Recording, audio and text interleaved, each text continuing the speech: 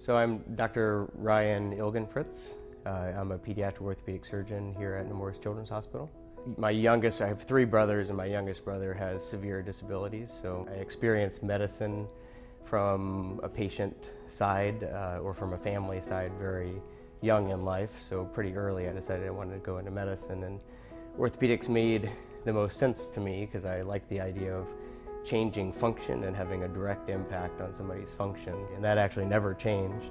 That's sort of my passion uh, in, in my practice is dealing with spine deformities, uh, both uh, idiopathic, meaning that they develop in normal children, and then in children who have neuromuscular uh, conditions uh, like cerebral palsy. Uh, for, for both of those, actually, hip and spine conditions tend to co occur, so it's generally the same or a similar patient uh, population uh, for both of those types of conditions that I treat.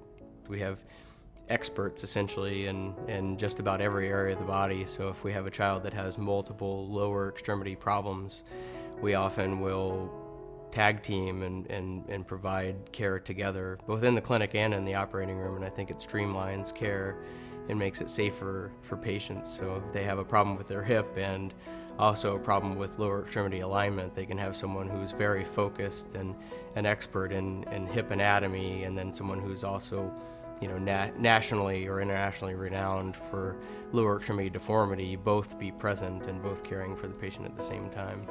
Patients are ready to go back to all the activities that they did before much sooner than I'm actually ready for them to go back.